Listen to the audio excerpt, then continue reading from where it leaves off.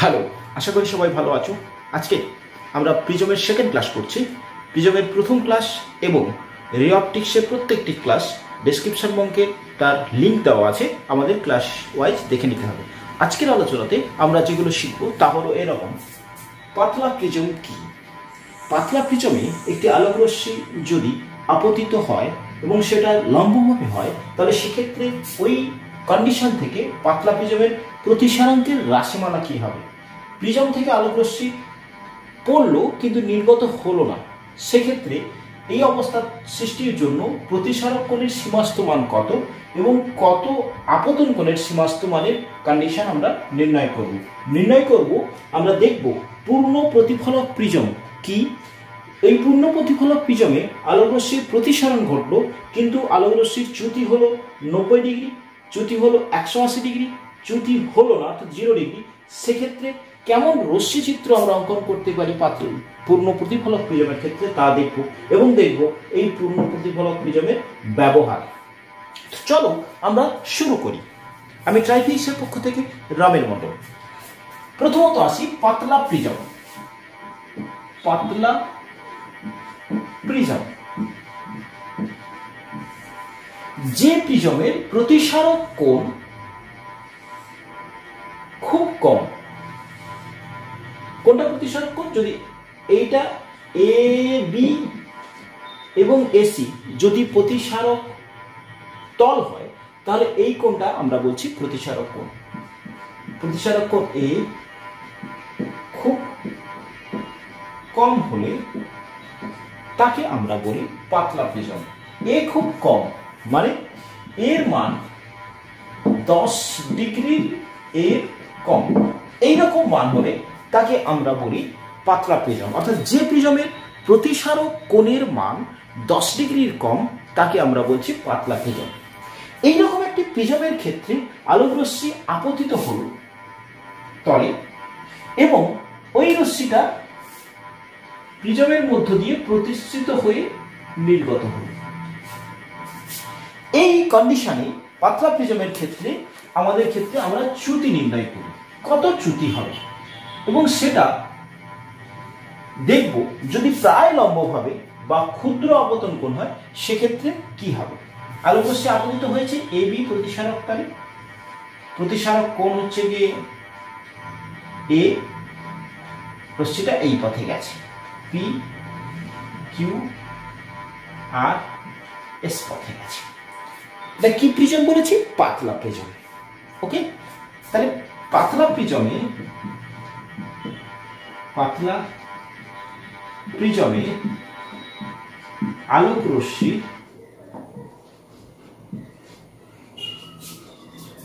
চ্যুতির রাশিমালা নির্ণয় করো। এটা আমাদের কনসেপ্ট একটা পাতলা প্রিজমে আলোক চ্যুতির রাশিমালা নির্ণয় করো।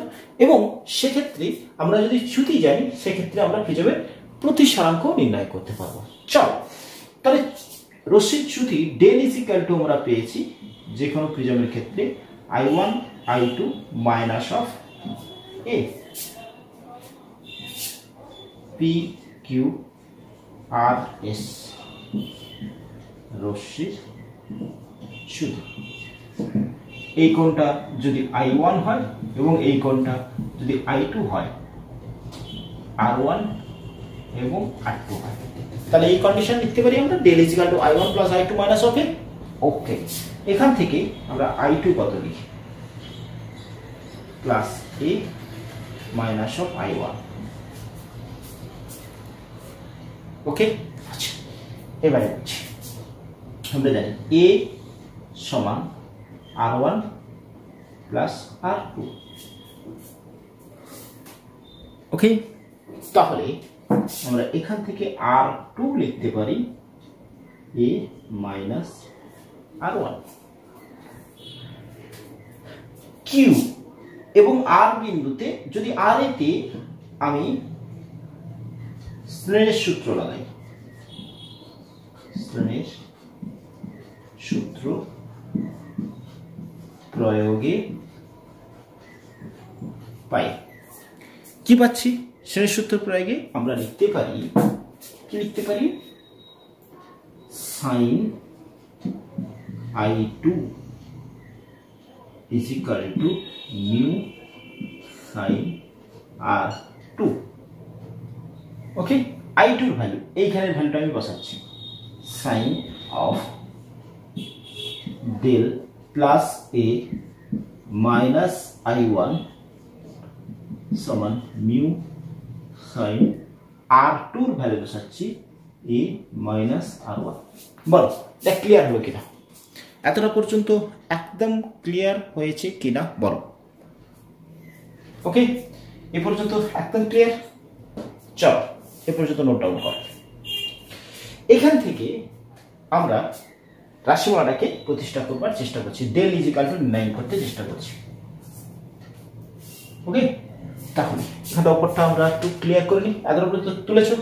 পজ করে তুলে নিয়েছ। চল।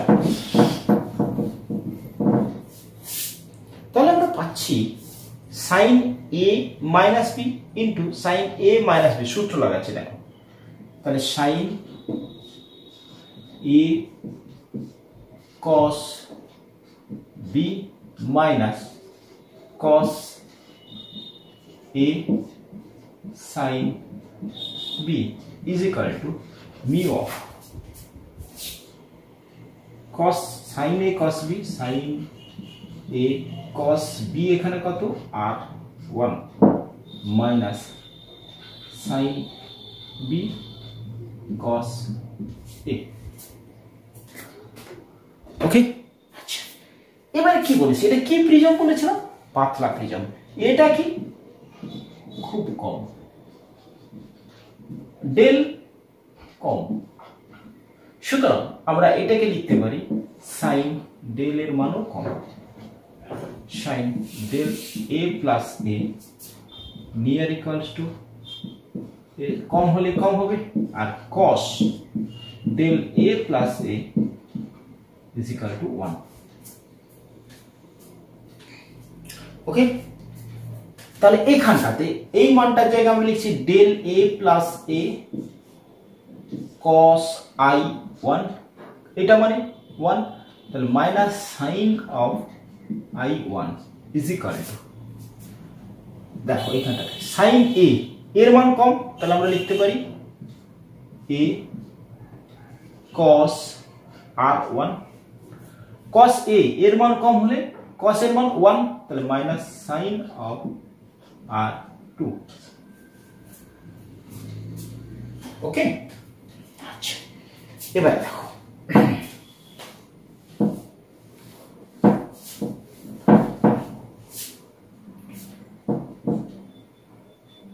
del a cos i1 minus sin i1 is equal to mu. A cos r1 আচ্ছা। ওকে ওকে এখানটাতে একটা সমস্যা হয়ে গেছে। এটা সাইন আর ওয়ান ছিল এটা আর ওয়ান হবে। Okay sorry sorry sorry R one এটা আর ওয়ান মাইনাস আচ্ছা এখানে। মিউ সমান sine I one by sine R one লিখতে পারি। তাহলে এখান থেকে সাইন আর ওয়ান সমান sine I one by mu এইটা এখানটাতে লিখি sine R one is equal to sine I one by mu mu দিয়ে ক্রস মাল্টিপ্লিকেশন করো, তাহলে দাঁড়াচ্ছে del plus A cos of I one minus sine of I one mu দিয়ে করলে mu A cos R one minus sine I one mu mu কেটে যাচ্ছে, তাহলে sine one দুপাশ থেকে সাইন আই ওয়ান কেটে যাচ্ছে। ওকে সাইন আই ওয়ান কেটে যাচ্ছে। তাহলে পাচ্ছ কি তুমি? পাচ্ছ mu A cos R one is equal to del plus A cos I one তাহলে যদি আমি মিউ বলতে চাই, তাহলে মিউ আমরা লিখতে পারি del plus A cos of I one by A cos of R one okay আবার, যদি আমরা চ্যুতি কোণের রাশিমালার প্রতিষ্ঠা করতে চাই, তাহলে দেখো, এখান থেকে আমরা করতে পারি। হচ্ছে এটা clear mu A cos R one by del plus A okay clear হয়েছে? আচ্ছা। আচ্ছা এখান থেকে লিখছি, যদি এরকম লিখি, mu A cos of r1 is equal to del cos of i1 plus a cos of i1 হচ্ছে? আচ্ছা ডেল সমান আমরা পাচ্ছি, কি লিখতে পারি? ডেল সমান mu A cos R one minus cos i1 by কই cos i1 ওকে আচ্ছা। এইবারে কন্ডিশনটা বলেছে প্রায় লম্বভাবে প্রায় লম্বভাবে হওয়ার অর্থ প্রায় লম্বভাবে এই কথাটার অর্থ কি লিখতে পারি?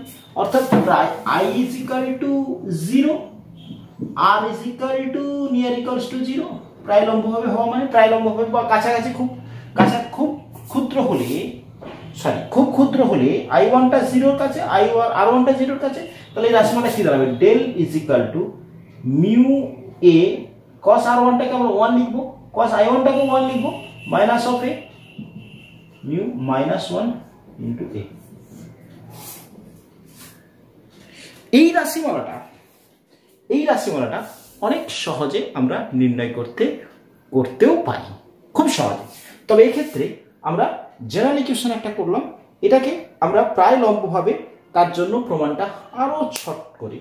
আমরা আপতন, অর্থাৎ এই ক্ষেত্রে রাশিমালা পেলাম আমরা এটা পাতলা প্রিজমের চ্যুতির রাশিমালা পেলাম এইটা। ওকে?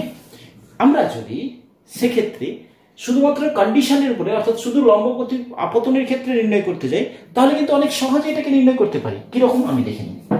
পাতলা প্রিজমের ক্ষেত্রে আমরা যদি শুধুমাত্র একটাই কন্ডিশনে বের করতে চাই, অর্থাৎ খুব ক্ষুদ্র প্রতিসারক আপতন কোণের ক্ষেত্রে, খুব ক্ষুদ্র আপতন কোণের ক্ষেত্রে।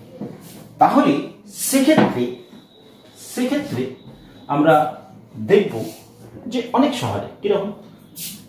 এটা প্রিজম প্রথমেই বলছি I near equals to zero বা আই ওয়ান সরি খুব ক্ষুদ্র। খুব ক্ষুদ্র।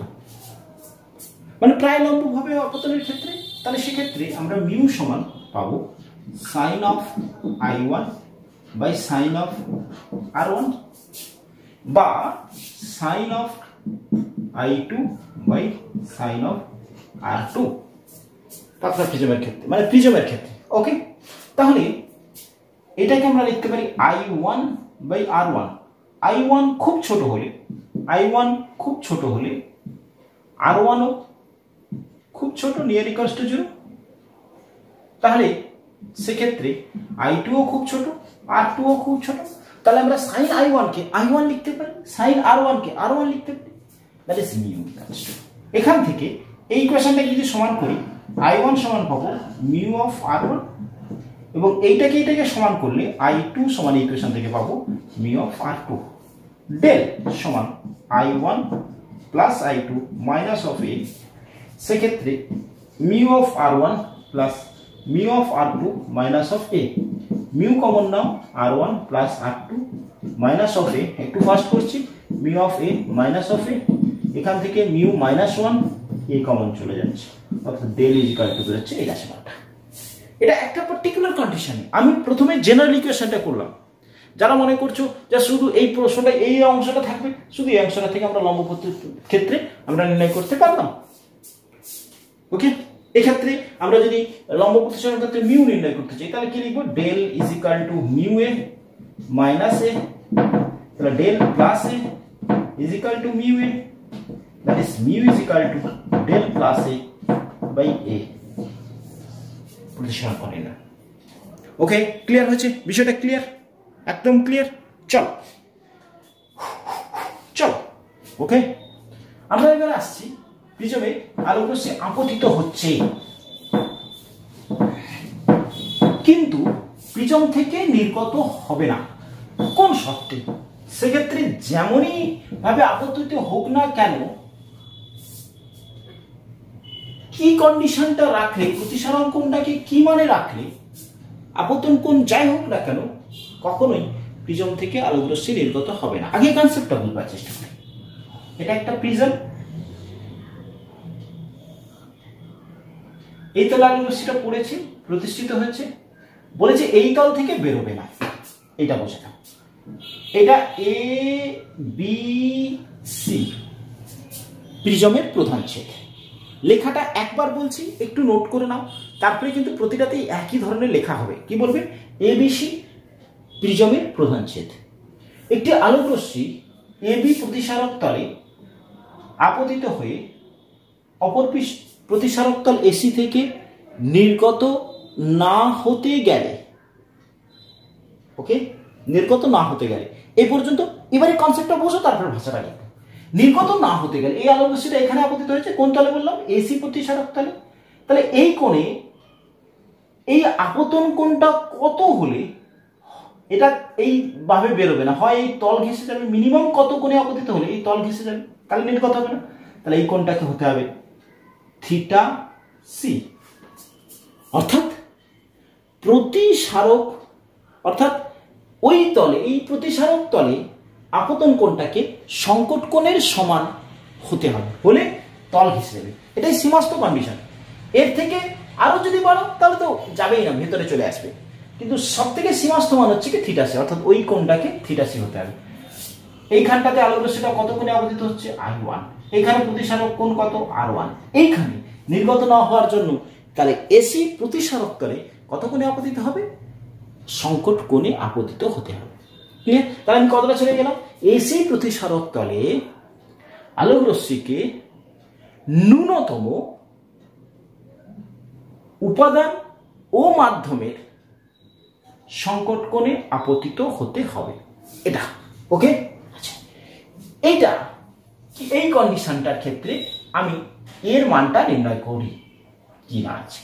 আমরা জানি প্রিজমের ক্ষেত্রে এ সমান R one plus R two okay? আচ্ছা এই মাধ্যমে ওকে, এই আলোর সেটাকে আমরা নাম দিই P Q R S Q কিউতে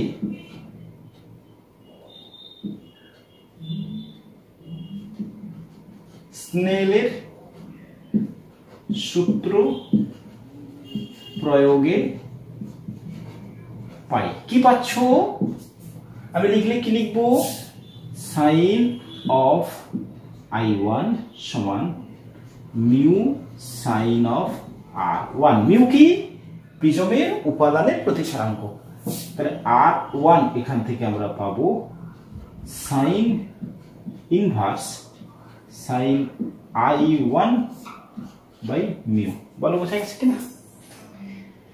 ওকে মিউটা এখানে ভাগ হয়েছে, তাহলে সাইন আর সমান sine I one by mu. আরটাকে রেখে সাইন ইনভার্স নিয়ে এসছে। আর কে? স্নেলের সূত্র থেকে পাই। কি পাচ্ছ? আপতন কোন কত?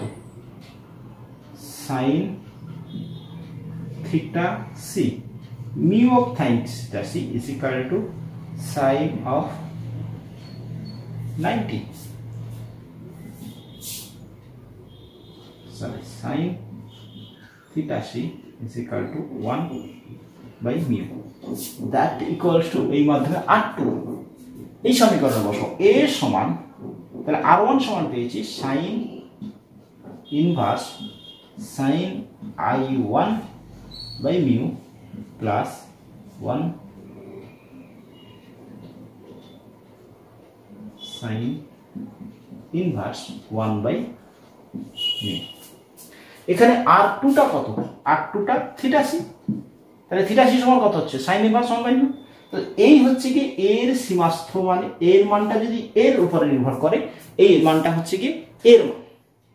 এবারে এখানে দেখো, সব ধ্রুবক, শুধু আই তাহলে আই পরিবর্তন হলে বেরিয়ে যাওয়ার সম্ভাবনা থাকে, তাহলে এর মানটা কত কত? যদি i one is equal to zero হয়, তাহলে এর মানটা নির্গত হবে না, সেক্ষেত্রে এর মান কত? এবং আই ওয়ান ইজিক্যাল টু যদি নাইনটি হয়, এই দুটো কন্ডিশন মানে i one equal to zero মানে আলো রশ্মিটা কীরকম ভাবে লম্বভাবে আপতিত হচ্ছে? সেক্ষেত্রে এর মান কত থাকলে প্রতিসারক এসি প্রতিসারক তল থেকে নির্গত হবে না? এই সমীকরণটাতে বসাই। তাহলে এ ইজিক্যাল টু তখন হচ্ছে আই ওয়ান জিরো তাহলে এটা জিরো এটা জিরো তার মানে হচ্ছে গিয়ে থিটা সি দেখো sine inverse one by mu মানে theta c theta c equal to sine inverse one by theta c অর্থাৎ যদি আলোরশ্মি লম্বভাবে আপতিত হয়, তাহলে এর মান যদি ওই দুই মাধ্যমের সংকট কোণের সমান হয়, তাহলে কিন্তু প্রতিসারক তল দ্বিতীয় তল থেকে আলোরশ্মি নির্গত হবে না। বা আই আই মান জিরো থেকে নাইনটি হতে পারে, তাহলে নাইনটি হলে কথা হবে? আমি দেখে নিই। A is equal to ninety হলে এই মানটা হবে sine i is equal to one তাহলে sine inverse one by mu plus sine inverse one by mu. That equals to theta c. Also that equals to theta c. That is 2 theta c. 2 theta c. কি পেলাম? না আইটা যদি না জিরোটিতে আপতিত হয় মানে এবি প্রতিসারক তলে লম্বভাবে আপতিত হয়, তাহলে এই তল থেকে নির্গত না হওয়ার জন্য প্রতিসারক কোণকে কত হতে হবে? থিটা সির সমান। যদি আলোকরশ্মিটা নাইনটি ডিগ্রি কোণে আপতিত হয় মানে এবি তল ঘেঁষে আপতিত হয়, তাহলে সেক্ষেত্রে এর মানটা কত হতে হবে? টু থিটাসি তাহলে সর্বোচ্চ মান কত? টু থিটাসি তাহলে আমি যদি এর মান এর মান টু থিটাসি বা তার বেশি রাখি, বেশি করি, তবে যে কোনো আপতন কোণের ক্ষেত্রেই ক্ষেত্রেই রশ্মি নির্গত হবে না। তাহলে এর সীমাস্ত মান কত? টু থ্রিটাসি টু থ্রিটাসি কন্ডিশনটা প্রশ্ন করবার সময় এই দুটো কন্ডিশন কিন্তু একটু ভালো করে খাতায় নোট ডাউন করে রাখতে হবে।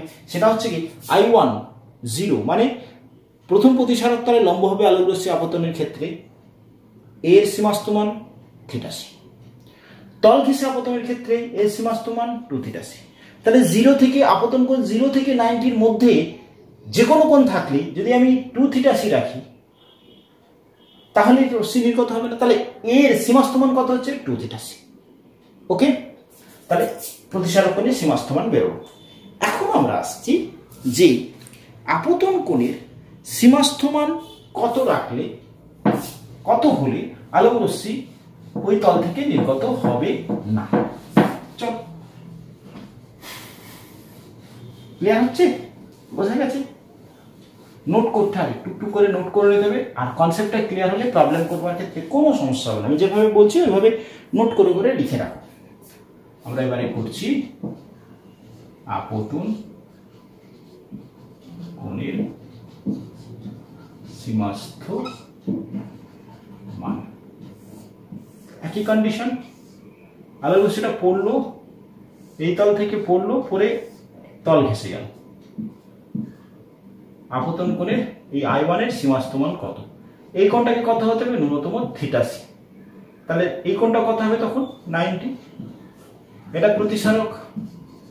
তল একটা এবি একটা এসি এবিসি কি? প্রিজমের ক্ষেত্রে প্রধান ছেদ চালক। তাহলে আমাকে আই ওয়ানের সীমাস্থমান জানতে চাওয়া হচ্ছে। আপতন কোণের সীমাস্থমান আচ্ছা পি কিউ আর এস কিউতে স্নেহ সূত্র লাগাও। কিউতে স্নেহ সূত্র। লাগালে কি হবে? Sine of i one by sine of r one is equal to mu দেখতে পারি? মিউটা কি? মিউটা হচ্ছে গিয়ে এই প্রিজমের উপাদানের প্রতিসারাঙ্ক, ওকে? ওকে, এবারে বলছি, এ সমান আমরা জানি r one plus r two. আচ্ছা আর টুর মান কত হলে তল থেকে নির্গত হবে? থিটাসি তাহলে এখান থেকে আর ওয়ান প্লাস থিটাসি আচ্ছা এখান থেকে আর ওয়ান সমান কি পাচ্ছি? এ মাইনাস বলো of i one is equal to mu of sine of r one r ওয়ানের ভ্যালুটা এখানটাতে বসাচ্ছি। Sine of a minus theta c pure mathematic calculation sine a minus b sine a cos b minus cos a sin b okay চল তাহলে i সমান আমরা লিখতে পারি sin inverse mu first bracket sin a. এখানে cos theta সির value আমরা আর সাইন থিটা সির ভ্যালু আমরা লিখে নেব। কীরকম? আমরা জানি sine theta c is equal to one by mu তাহলে cos theta c is equal to one minus one by mu with square তাহলে এটা দাঁড়ায় root over of mu square minus one by mu তাহলে cos theta c সমান দাঁড়াচ্ছে root over of mu square minus one by mu clear হয়েছে? Minus cos a sine one by mu এই মিউটাকে multiple করে দাও। এই মিউটাকে মাল্টিপুল করে দাও। এইখানের মিউটা। তাহলে দাঁড়াচ্ছি। Sine inverse root over b square minus one sine a minus cos of a এর সীমাস্থ মান হচ্ছে এইটা। I এর সীমাস্থ মান, তাহলে কোন কোন বিষয়ের উপর নির্ভর করছে? এর উপরে। আর কার উপরে? উপাদানের প্রতিসারাঙ্ক অর্থাৎ প্রিজমটা যে উপাদানের তৈরি, তার প্রতিসারাঙ্কের উপরে। তাহলে আমি কোনো একটা প্রিজমের ক্ষেত্রে এ দেওয়া থাকলে প্রতিসারাক্ষণ দেওয়া থাকলে, এবং তার প্রতিসারাঙ্ক, উপাদানের প্রতিসারাঙ্ক দেওয়া থাকলে, ওই প্রিজমে আলোক রশ্মিটাকে সর্বোচ্চ কত করে আপতিত করলে আলোকরশ্মিটা প্রিজম থেকে নির্গত হবে না তা নির্ণয় করতে পারব। তাহলে আমাদের লক্ষ্য ছিল প্রিজম থেকে আলোকরশ্মি না নির্গত হওয়ার আপতন করে সীমাস্ত মান নির্ণয় করো। দ্যাট ইজ এই আপতন করে সীমাস্ত মান নির্ণয় করতে পারলাম আমি। ওকে এরপরে আমরা আসছি পূর্ণ প্রতিফলক প্রিজম। পূর্ণ প্রতিফলন পূর্ণ প্রতিফলক মানে? আলোকরশ্মি প্রিজম থেকে যাওয়ার সময় প্রিজমের ক্ষেত্রে আলোক রশ্মিটা যদি আভ্যন্তরীণ পূর্ণ প্রতিফলন ঘটিয়ে ফেলে, তাহলে সেই প্রিজমকে আমরা বলব পূর্ণ প্রতিফলক প্রিজম। পূর্ণ প্রতিফলক প্রিজম। ওকে? আচ্ছা এক্ষেত্রে আমরা যে প্রিজমটা নেব, সেটা হচ্ছে গিয়ে সমকোণী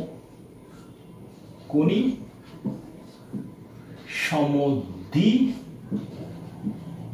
বাহু একটা প্রিজম নেব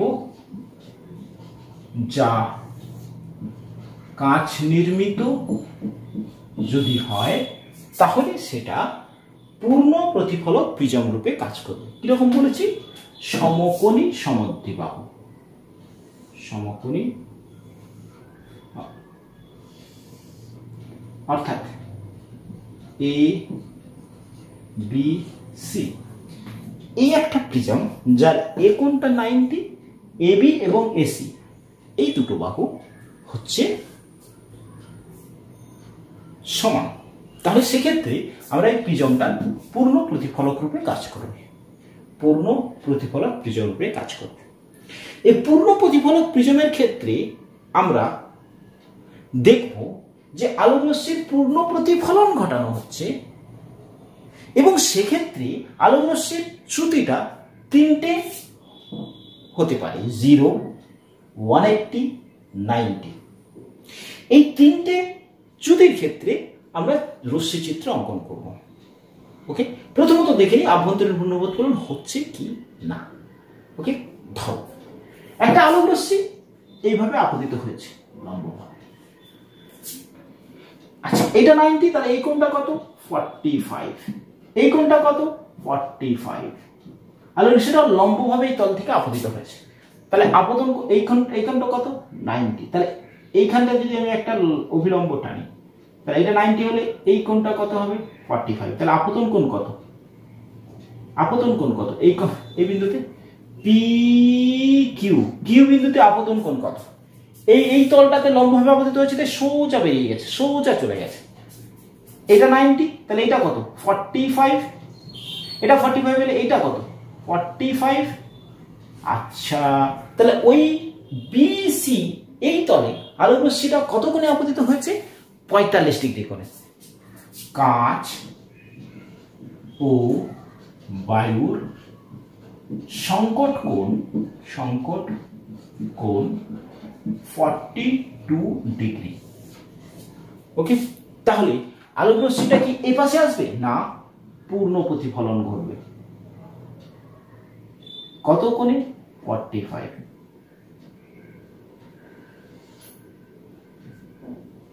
এটাও ফর্টি ফাইভ তাহলে এটা কত? নাইনটি তাহলে এখানে নব্বই ডিগ্রি কোণে সি এ তলে আপত্তি ধরে সোজা পথে বেরিয়ে যাবে। পি কিউ আর বলো, পূর্ণ প্রতিফলন ঘটেছে? তাহলে এইটা, এই যে প্রিজমটা এই প্রিজমটা কি? পূর্ণ প্রতিফলক প্রিজম। এক্ষেত্রে আলোক রশ্মিটা এই তলে লম্বভাবে আপতিত হয়ে এইখান থেকে আলোক রশ্মিটা কি ঘটেছে? পূর্ণ প্রতিফলন ঘটেছে ওকে এক্ষেত্রে আলোক রশ্মির চ্যুতি কত হয়েছে দেখি। সোজা এই পথে যাচ্ছিল। এইটা বেঁকেছে, এই কোনটা কত? নাইনটি। তাহলে এক্ষেত্রে চ্যুতি কত হয়েছে? নাইনটি ডিগ্রি চ্যুতি। আমাকে প্রশ্ন থাকবে, একটি পূর্ণ প্রতিফলক প্রিজম অঙ্কন করো। যে ক্ষেত্রে আলোক রশ্মির চ্যুতি হয় নব্বই ডিগ্রি। চিত্রটা ক্লিয়ার কনসেপ্টটা ক্লিয়ার হচ্ছে? বা প্রশ্ন এরকমও থাকতে পারে যে একটি প্রিজমের আলোক রশ্মির চ্যুতি নব্বই ডিগ্রি হয় এরূপ রশ্মি চিত্র অঙ্কন করো। এবার আসছি যদি ওয়ান এইটটি চ্যুতি হয়, সেক্ষেত্রে রশ্মি চিত্রটা কেমন হবে? আমরা আসছি এবার ওয়ান এইটটি ওকে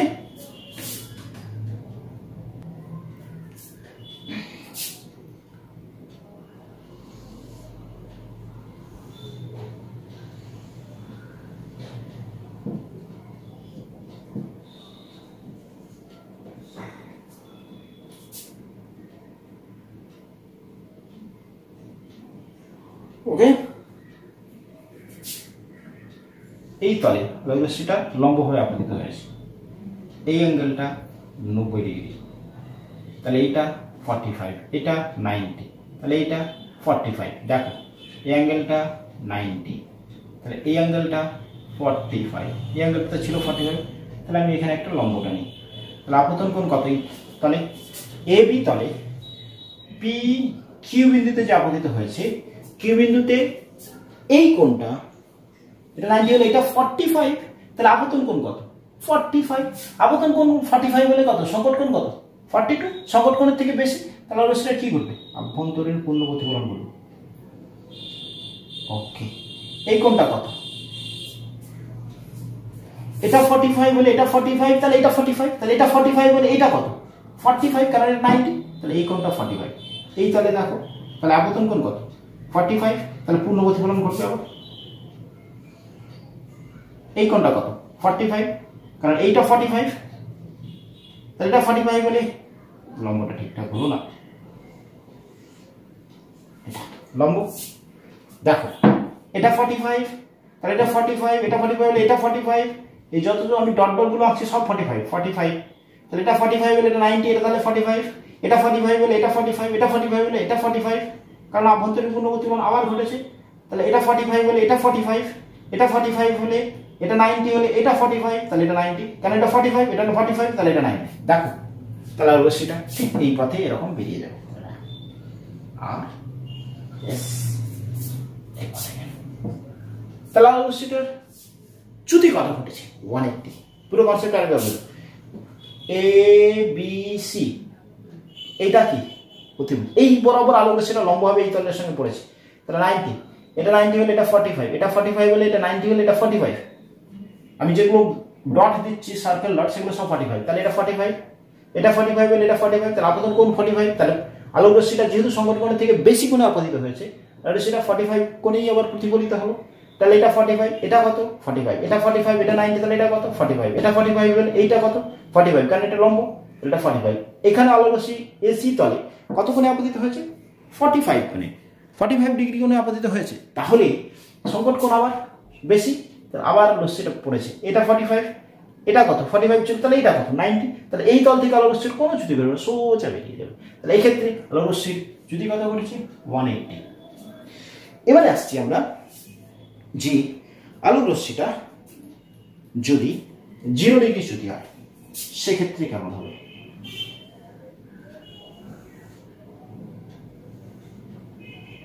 এটাই বি সি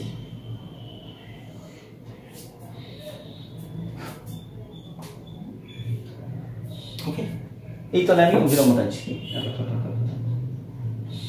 বিলম্বভাবে আবদ্ধিত তাহলে এইটা যে কোনো আবদ্ধিত হয়েছে তাহলে এই কোশ্চেনটা অবিলম্ব থেকে অবিলম্বের কাছে সরে আসবে।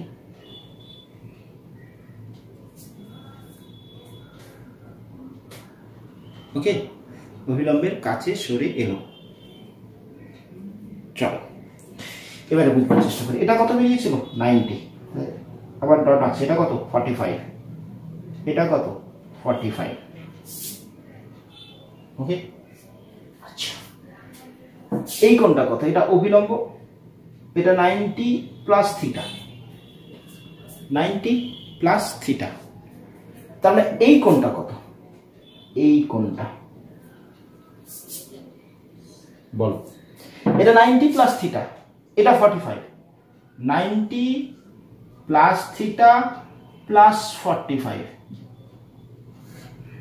সমান একশো পঁয়ত্রিশ প্লাস থিটা তাহলে এই কোনটা কত? Minus one eighty. Minus one eighty তাহলে কত হচ্ছে? একশো পঁয়ত্রিশ একশো আশি থেকে পঁয়ত্রিশ একশো পঁয়ত্রিশ বাদ দাও। পাঁচ তিন, পঁয়তাল্লিশ। পঁয়তাল্লিশের থেকেও কম। পঁয়তাল্লিশের থেকে কম। হ্যাঁ কি না? তাহলে এই বোঝা গেল না। আচ্ছা মোট এই দুটো কোণ কত? এই দুটো কোণ মিলে একশো পঁয়ত্রিশ প্লাস থিটা তাহলে এই কোণটা কত? এই কোণটা হচ্ছে ওয়ান এইটটি মাইনাস একশো পঁয়ত্রিশ মাইনাস থিটা তাহলে কত? ফর্টি ফাইভ মাইনাস থিটা কারণ পঁয়তাল্লিশ থেকে কম। ওকে পঁয়তাল্লিশ ডিগ্রি থেকে কম। তাহলে আলো সেটা এই তলে যখন আপতিত হয়েছে, এই আপতন কোনটা কি? গ্রেটার দ্যান পঁয়তাল্লিশ ডিগ্রি? পঁয়তাল্লিশ ডিগ্রি বেশি? কারণ এই দুটো কোন তো নাইন ডিগ্রি ওকে তাহলে অভ্যন্তরীণ পুনর্বতন ঘটলো। এই ক্ষেত্রে আলোক রশ্মিটা এটা পঁয়তাল্লিশ ডিগ্রি কম, এটা পঁয়তাল্লিশ, এটা তাহলে আলোক রশ্মিটা পঁয়তাল্লিশ ডিগ্রি অনেক অনেক কম হবে। তাহলে আলোক রশ্মিটা আবার এই তল থেকে প্রতিষ্ঠিত হয়ে বেরিয়ে যাবে এরকম ভাবে। ক্লিয়ার হলো? তাহলে এই তলে পূর্ণ প্রতিফলন ঘটলো। কিন্তু আলোক রশ্মিটা এই পথে ছিল, এই পথেই থাকল। তাহলে চ্যুতিটা হচ্ছে কি জিরো ডিগ্রি চ্যুতিটা হলো জিরো ডিগ্রি ক্লিয়ার হয়েছে? না বোঝা গেল? আলোক রশ্মিটা পড়েছে যে কোণেই পড়ুক। এই কোণটা কত হবে more than ninety plus theta ninety plus theta না, নব্বই থেকে বেশি। এটা কত? ফর্টি ফাইভ তাহলে এটা পঁয়তাল্লিশের থেকে কম। তাহলে এটা পঁয়তাল্লিশের থেকে কম মানে এইটা কত? পঁয়তাল্লিশের থেকে বেশি কোণ কত? বিয়াল্লিশ। তাহলে আভ্যন্তরীণ পুনর্বতন ঘটলো এই দল থেকে কিন্তু কোণের থেকে কম কোণে আপতিত হবে আলো রশ্মিটা আবার বেড়ে কীভাবে বুঝলে? তাহলে এটা কত? পঁয়তাল্লিশ ডিগ্রি কম, এটা কত? পঁয়তাল্লিশ। তাহলে এই কোণটা কত? এই কোণটা? মোর দেন নাইনটি। তাহলে নাইনটি যদি এঁকে তাহলে সেটা অবশ্যই পঁয়তাল্লিশ ডিগ্রির কম হবে। যেমন এখানটাতে পঁয়তাল্লিশ ডিগ্রি কম হয়েছিল। তাহলে সেটা প্রতিসরণ করবে। অর্থাৎ আলো সেটা এইভাবে এসেছিল বেরিয়ে তাহলে কত চ্যুতি হচ্ছে? এক্ষেত্রে থিটা অর্থাৎ চ্যুতি কত? জিরো সরি চ্যুতি কত হলো? জিরো তিনটা কনসেপ্ট বোঝা গেল। ব্যবহারে আসি। এই যে আলো রশ্মির পূর্ণ প্রতিফলন ঘটছে, আমরা যেসব ক্ষেত্রে, যেমন সরল পেরিস্কোপ যন্ত্রে, আমরা কিন্তু এই পূর্ণ প্রতিফলক প্রিজম ব্যবহার করব। যার ফলে কি হবে? প্রতিবিম্বের উজ্জ্বলতা অনেক বেশি হবে। প্রতিবিম্বের উজ্জ্বলতা, সাধারণ যদি দর্পণ ব্যবহার করতাম, সেক্ষেত্রে অনেকবার প্রতিফলনের পর দেখা যাচ্ছে সেক্ষেত্রে প্রতিবিম্বটা অনুজ্জ্বল প্রকৃতির হবে। কিন্তু আভ্যন্তরীণ পূর্ণ প্রতিফলনের ফলে এখানে প্রতিবিম্ব গঠন হচ্ছে মানে যেহেতু প্রিজমের ক্ষেত্রে আভ্যন্তরীণ পূর্ণ প্রতিফলন ঘটছে, তাহলে সেক্ষেত্রে কিন্তু আমরা যে প্রতিবিম্বটা পাবো, সেই প্রতিবিম্বটা অনেক বেশি উজ্জ্বল হবে। ওকে এর একটা ডিমেরিটস কি? না, প্রিজম তো অনেক বেশি দামের হয়, অর্থাৎ দামের অনেকটা পার্থক্য হয়। সাধারণ দর্পণের ক্ষেত্রে এর দামটা অনেক বেশি হয়। ওকে তাহলে আজকে এই পর্যন্ত আলোচনা হলো। আমরা পরের ক্লাসে আসছি। সংসদ প্রকাশিত কিছু এইচ আলোকের কিছু যতটা হয়েছে ততটা অবধি কিছু এমসিকিউ পার্টের প্রশ্ন নেই। Okay thank you